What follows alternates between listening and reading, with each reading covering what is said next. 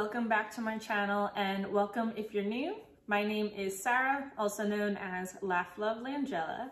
And in today's video, we are going to be doing a sweets charcuterie board. So I'm going to be sharing with you guys my go-to homemade molasses cookie recipe. It is absolutely our favorite when it comes to the holiday season to enjoy. So I will share that with you guys, as well as some simple ideas of things you can pick up at your local grocery store and assemble for a really cute moment on your sweets charcuterie board. Perfect for a family movie night. That's exactly why I'm filming this on Friday. So that way we can enjoy it through the weekend. We're having a full-blown Christmas movie weekend. So we want to be able to enjoy all these little sweet treats and things. And so I hope you enjoy and without wasting any time, let's get into the molasses cookie recipe. So here's my recipe card for our homemade molasses cookie recipes.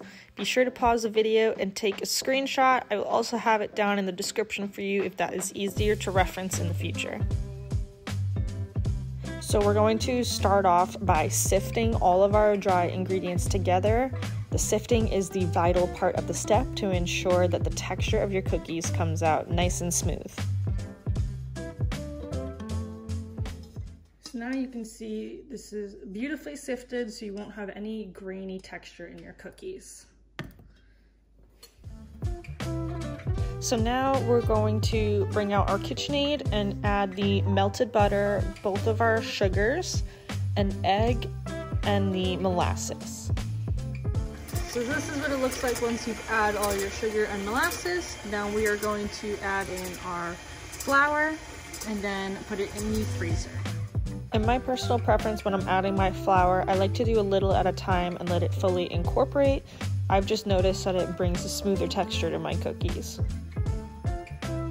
So once you are done making your molasses cookie batter, you're going to put it in your freezer for 20 minutes if you plan on baking it right away. If you want to make the batter a day early, that is perfectly fine. Just leave it in your fridge overnight.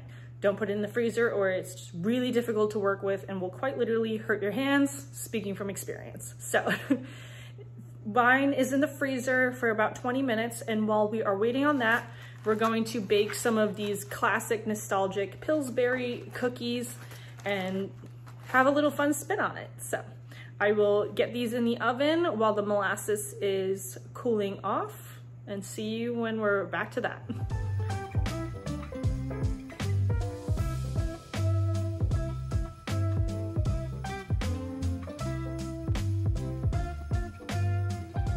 so once your batter is all cooled, you're gonna grab it from the freezer, grab a bowl with some sugar in it, and you're going to grab your batter, roll it up in a ball, roll it around in the sugar,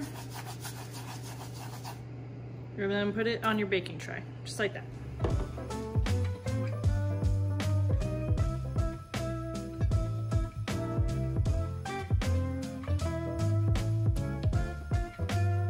Goodness, I wish you guys could smell these. They smell so delicious. And when you bake them, you just want them to barely be starting to turn a little darker on the edges so they're still nice and chewy in the middle.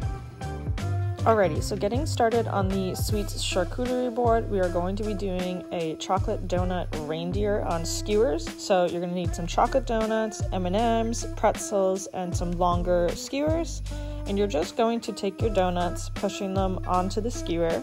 Then you'll take a couple of your pretzels and break them in half and then push them into the top so they make the antlers for the reindeer. And then take some icing to put on the red nose because this is Rudolph. And lastly, I had some of the leftover eyeballs from my Halloween mummies, so we're gonna add those. I mean, can you even handle how cute these turned out? Now we're gonna do one really similar doing snowmen. Now for the snowmen, we're gonna do very similar with some powdered mini donuts, some mini chocolate chips, and some Rolos. Okay, so for the snowman, we are going to follow the same process as the reindeer, putting three donuts on the skewer, but to top it off, we are going to add that Rolo to be his hat. Next, we're gonna add some icing and add our orange nose, and then take a couple of the mini chocolate chips for eyes and buttons. Look how cute he turned out. So now we'll make a few more. Okay, so for our next one, we can't have pure sugar everywhere. So we're gonna get some strawberries, green grapes, and bananas, and some mini marshmallows. And then I got these last year from Hobby Lobby, but they also have them in like a snowflake pattern. And we're going to do this little like gnome moment. And so you'll grab one of your skewers, put your marshmallow on first. grab your strawberry, then your banana, and lastly, the grape.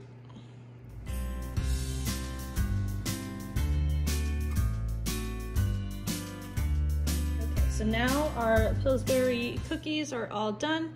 Everyone loves to enjoy them like this, myself included, so I'm leaving some of them plain, but we're going to take some frosting.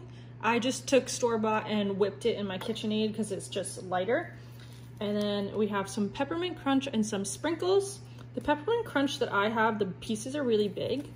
So I actually took some in a bag and just whacked it with my rolling pin.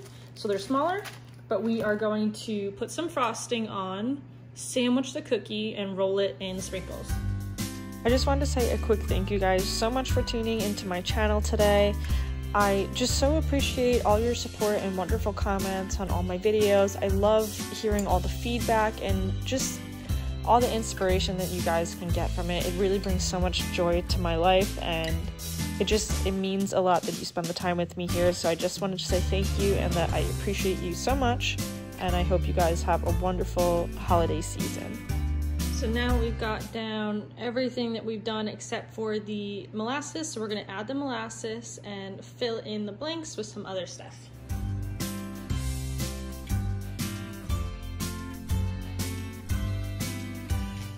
Picked up some of these peppermint cookie stirrers from Target, as well as some chocolate dip pretzel rods.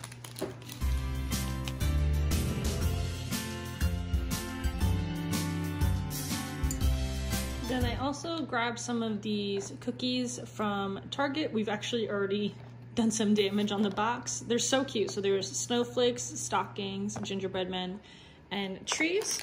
And then there's some snowflake marshmallows. Target has so many amazing sweet treats. I got most of my stuff from there. World Market, Walmart are also great resources.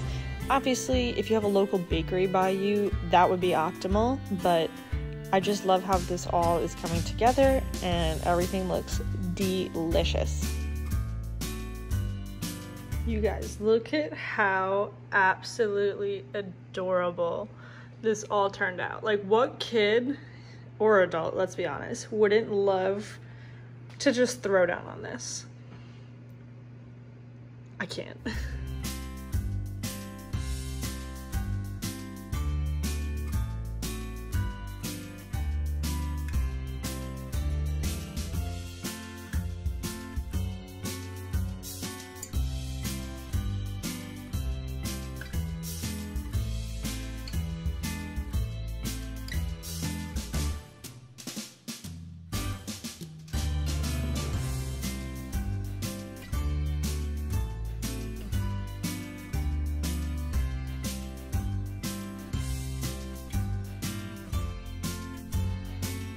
Thank you guys so much for tuning into my channel today. If this was your first time here, I would love it if you would subscribe and join my YouTube family. I hope that you guys got lots of different ideas for some yummy treats for your family and friends for this holiday season.